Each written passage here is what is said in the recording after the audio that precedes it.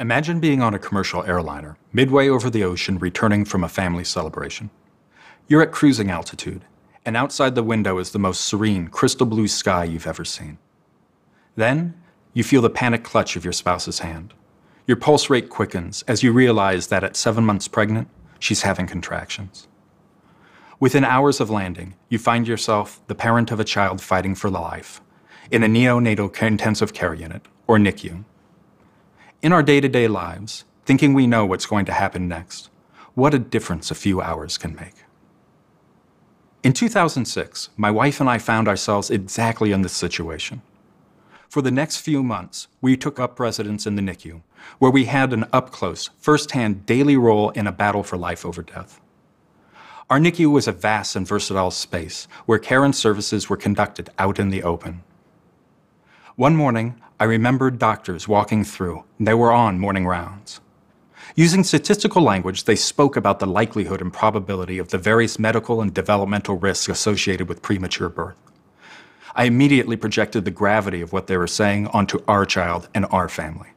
And I was crushed. I felt inept. Perhaps seeing how disturbed I was, one of the doctors approached me and said, Don't let anyone tell you that we know what's going to happen next. Because we don't. The future's not known to us. Before that moment, with our family's future hanging in the balance, I thought this was something I understood. But I was entirely wrong. That was the beginning of my journey towards understanding the importance of uncertainty. That statistical probability is a means of understanding the past and need not be a predictor of the future.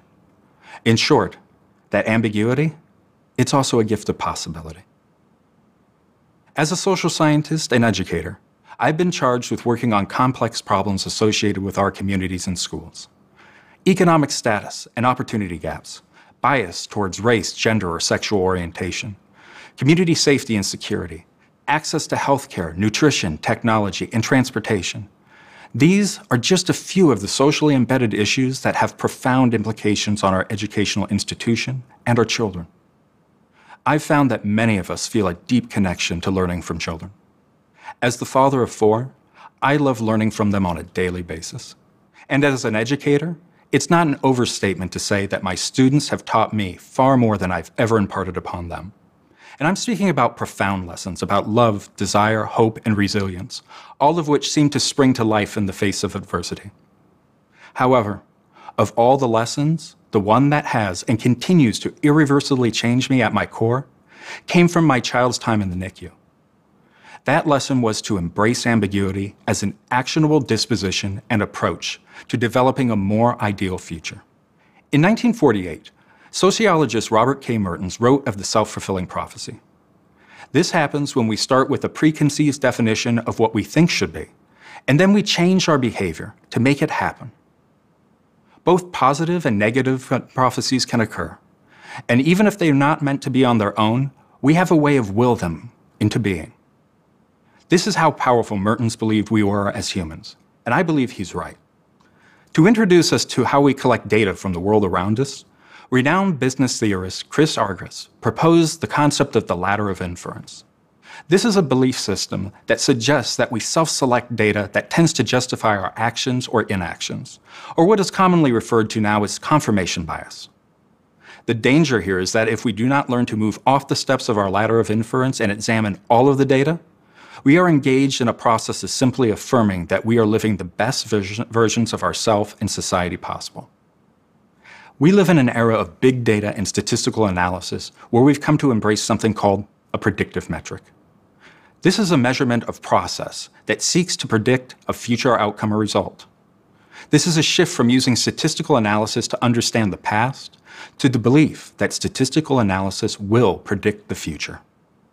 There is a seductively powerful feeling of security that comes with believing we can predict the future. I know that I've been guilty of this. However, with the shift to predictive metrics, I believe we may have weaponized statistics. I believe it is dangerous, limiting, and misleading as it deprives us of thinking about the possibilities that reside within ambiguity itself. It transforms statistics into a toxic fuel that can rationalize or even expand complex problems by encouraging us to quickly move up the steps of our ladders of inference, to affirm that we think we already know what should be. It may force us to react and proceed rather than to pause, interact, and engage. It creates an ideal environment for self fulfilling prophecies, made true by the acceptance of a false set of assumptions. In education, predictive metrics come in a variety of forms. A common one is known as the norm reference test score. In essence, this is a statement that says that for someone with your label, this is where you stand in your trajectory. But we also give all of our children labels, such as those associated with poverty, race, gender, height, intelligence, and so on. And these labels are used as variables for statistical analysis and have predictive metrics associated with them. Standardized test scores in school performance, cognitive aptitude tests and college preparedness, high school graduation rates and the school to prison pipeline, behavioral risk scales and home community environments, and the list goes on and on. However, I also have found this to be the case in other fields that I've collaborated in. Just think of your own line of work. Whatever your topic, field, subject, or problem, whatever social issue you're taking on, your approach and how you deal with it, you're probably labeling. And with those labels, you may find your own culturally normed predictive metric. But my NICU experience, it gave me the gift of understanding things differently. You see, my child had several diagnoses, and with each diagnosis came a label, and with that label came a predictive metric for my child's future. Let me share with you, based upon our own beliefs and understandings as a family, more times than not, that predictive metric has been wrong. I believe we have to be careful about those predictive metrics as we're framing our narratives, guiding our actions, and rationalizing our social and cultural norms. They're directing our solutions orientation, for we are far less likely to feel compelled to examine if we're even asking the right question when we think we already know what will happen. Yes, statistical probability tells us what has happened, but it's devoid of how it happened, the specific who, the context of where, and the most important details of why it happened. That requires a separate exploration. I, like so many other educators, consider myself a champion of children's rights. In education, we use phrases such as all students or each child and discuss equity to achieve a more equal, inclusive, and just system. I believe that the vast majority of educators truly believe in these concepts. Trust me when I say that within my given field of work, there's no shortage of good intentions and discussions about the needs of our students. However, there continues to be a lack of effective action on behalf of our children and communities that are the most in need. We continue to seek out off the shelf solutions born of statistical analysis, focused with that promise of a better future that came with the association of a predictive metric. And then we wonder why we fail. We fail because we do not recognize that social innovations involve changing individual lives and experiences, while trying to implement solutions that are born of generalizability and are not designed for this purpose. This is one of the reasons why I've argued that rather than simply retooling existing educational institutions, we need to engage in innovations that may blur our very traditional concepts and notions of what schools are a broader discussion of redesigning towards human-centered social service centers, where education and community transformation are understood to be one and the same. Rather than large, rigid bureaucracies that may be expensive, impersonal, and dehumanizing, we might need to seek out contextually bound solutions that span individual disciplines. After all, no one wants to be a statistic, as we are all individuals. So I wanted to take this opportunity to invite you to embrace the ambiguity that the future ought to represent. Embracing ambiguity is an important part of getting outside of ourselves, stepping off of our ladders of inference, and ceasing the process of a limited, self fulfilling prophecy that continues to serve too few too well, leaving so many marginalized and oppressed.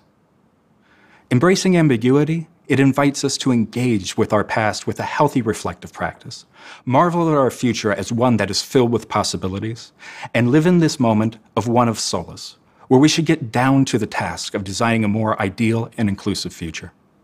I believe that in doing so, we can focus on what philosopher Paulo Freire called our first true vocation, that of becoming more human. And just think of what a gift that would be for our children, our professions, and our communities, and even for the promise of what should be a more just society. We rarely grow up to be who our parents thought we would be as they held us as infants. But for most parents, this happens in incremental steps over the course of years or decades. However, for many of the NICU families, this change seems to happen in an earth shattering instant. That is, until you are reminded that we can never give up hope. Humans are resilient, and the future is not known to us. It's time to embrace ambiguity and remind ourselves that anything can lay just around the corner.